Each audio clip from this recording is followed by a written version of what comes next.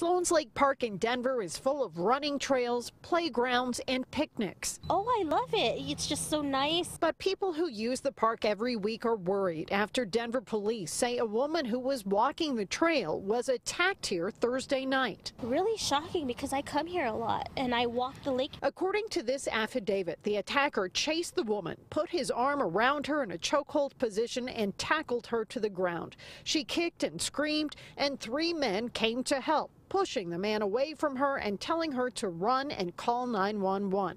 She did, and detectives realized the suspect description matched that of a man who was just taken into custody. 27 year old Daniel Martinez was arrested here near 14th and Perry at about 8.30 that same night after a second incident, and this area is about a mile from the other location. The victim ID'd him, but police issued this bulletin hoping to locate the three Good Samaritans to strengthen their case. We're hoping that the individuals that helped her get away um, have more information that can help us find out what, what happened. Residents like Tanisha are glad those men were there. I think it's nice to know that there are people who are willing to help and not just look the other way.